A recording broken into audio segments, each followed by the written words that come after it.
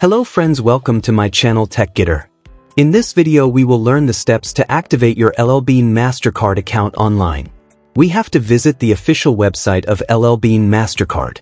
Activate.llbeanmastercard.com You can go directly to the website by typing this link. Here you have to sign into your account. Enter your credentials and tap on Sign On.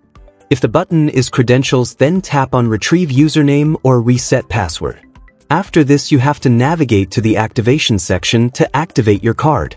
If you have not created an account then you have to go with Set up your account to create your account. Enter your card number here and click on Continue.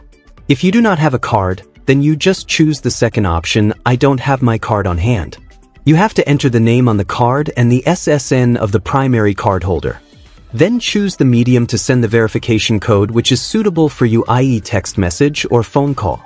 After this check the terms and conditions and click on send verification code.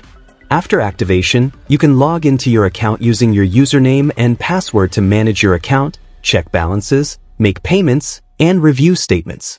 If necessary, follow any additional steps or security measures for added security of your account. Once activated, you can begin using your LLbean MasterCard for purchases and take advantage of any available rewards and benefits.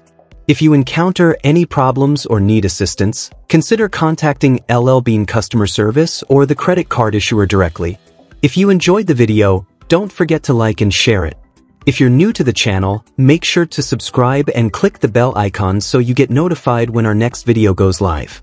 Thanks for watching and have a great day.